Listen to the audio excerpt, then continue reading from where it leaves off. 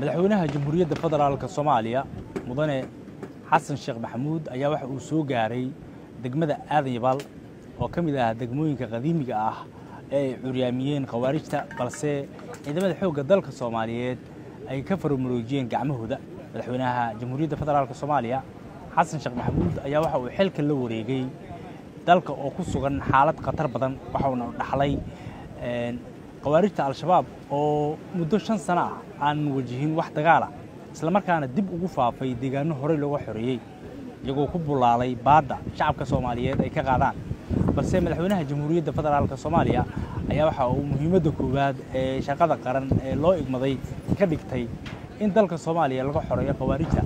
islamarkaana uu isagoo hormuud u noqdo howlgallada lagu ciribtirayo khawaarijta